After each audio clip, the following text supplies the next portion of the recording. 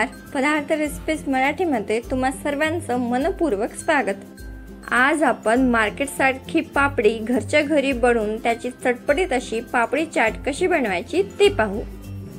त्याकरिता इथे मी अर्धा वाटी मैदा घेतलेला आहे.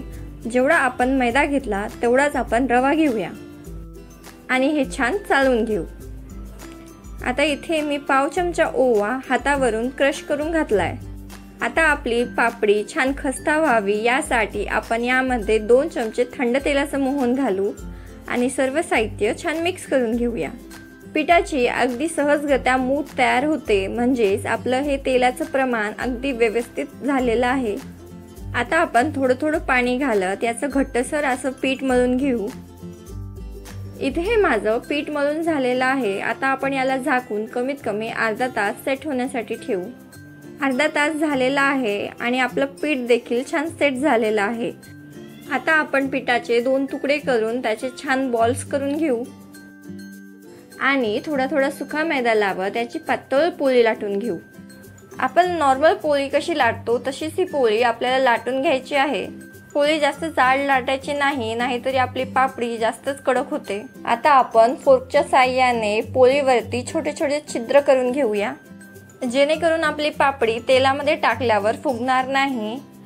आणि या पोळीच्या छोट्या छोट्या पापड्या कट करून घेऊ. इथे मी सर्व पापड्या कट करून घेतलेल्या आहेत. आता आपण याला तळायला घेऊया. एकीकडे गॅसवर मी तेल तापवत ठेवलेलं होतं. हे तेल आपल्याला मीडियम गरम करून घ्यायचं आहे. आणि यामध्ये आता आपण पापडी सोडून घेऊया.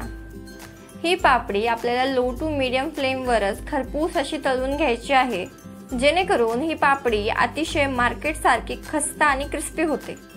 चार ते पाच मिनिटांनंतर तुम्ही बघू शकता आपल्या या पापडीला किती सुरेख कलर आलेला आहे. आता आपण ही काढून घेऊ आणि अशाच पद्धतीने सर्व आपल्या पापड्या तळून घेऊया. इथे ह्या माझ्या सर्व पापड्या बनून तयार आहेत.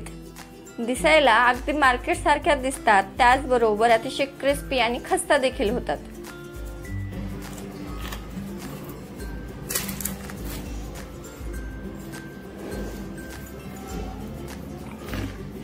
तुम्ही आवाज ऐकू शकता.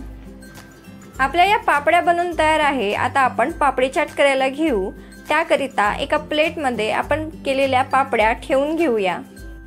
त्यावरती काही पापड्या आपण चुरा करून घालू.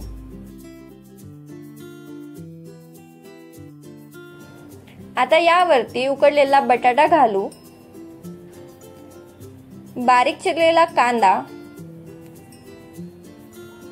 त्याचबरोबर बारीक चिरलेला टोमॅटो. आता यावरती चारच्या चटण्या घालू. या चटण्या कशा बनवायच्या त्या व्हिडिओची लिंक मी डिस्क्रिप्शन बॉक्समध्ये देत आहे. आता आंबट गोड चटणी घालूया. थोडस काळं मीठ त्याचबरोबर थोडस साधं मीठ. चाट आहे म्हटल्यावर थोडासा चाट मसाला तर नक्कीच भरभुरायचा. थोडीशी बारीक चिरलेली कोथिंबीर घालूया. आता यावरती दही घालूया. हे दही मी दोन चमचे साखर टाकून छान फेटून घेतलेलं आहे. जेणेकरून आपल्या या दह्याची चव मार्केटमध्ये जे चाटवाले असतात ना अगदी त्यांच्या दह्यासारखीच येते. तुम्हाला दही आवडत असेल तर घाला नाहीतरी स्किप केलं तरी चालेल. आता यावरती थोडीशी लाल मिरची भुरभुरूया. आणि परत एकदा वरतून आपण चाटच्या चटण्या घालू. या होममेड चटण्या आहेत त्यामुळे भरभरून घालायला काहीच हरकत नाही. ज्यामुळे आपली ही चाट अगदी मार्केटपेक्षाही खूप छान लागते. सर्वात शेवटी बारीक चिरलेली कोथिंबीर आणि बारीक शेव घालू. हे होममेड शेव आहेत याची लिंक देखील डिस्क्रिप्शन बॉक्समध्ये आता इथेही आपली मार्केटपेक्षाही अतिशय चविष्ट अशी पापडी चाट बनून तयार आहे. तर एकदा नक्की ट्राय करा आणि व्हिडिओ आवडला असेल तर लाईक शेअर कमेंट करा. आणि पदार्थ रेसिपीज मराठीला सबस्क्राईब करायला विसरू नका.